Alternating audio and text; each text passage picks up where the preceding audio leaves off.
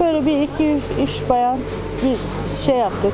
Sağa sola gittik ama bir destek ve bir şey bulamayınca dedik biz bir gözlemeyle başlayalım. Gözleme satalım. O da ilk etapta bir tane iki tane derken öğleden sonra canlandı. Bizi teşvik etti.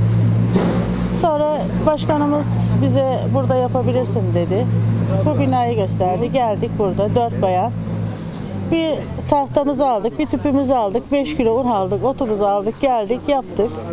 Ama onun arkası iyi geldi. Burada yaptığımız yemekleri 3 çeşit ise yöresel yemeklerimiz 5 çeşide çıkarmak. Her yöresel yemeğimizi gelen giden İzmir'den, İstanbul'dan her yerden insanlar geliyor. Onlara tanıtmak.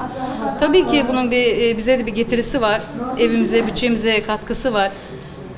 Kazandığınla şunu yapıyorsun, bunu yapıyorsun. O da bir gelişiyor mutlaka ki.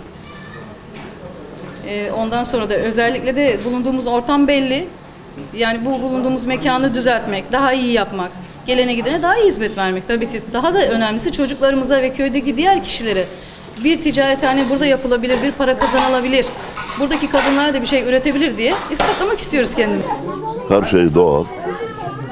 İnsan burada rahat ediyor. Yani başka yerlere gittiğin zaman mesela şehirlerde rahatsız oluyorsun. Gürültü var.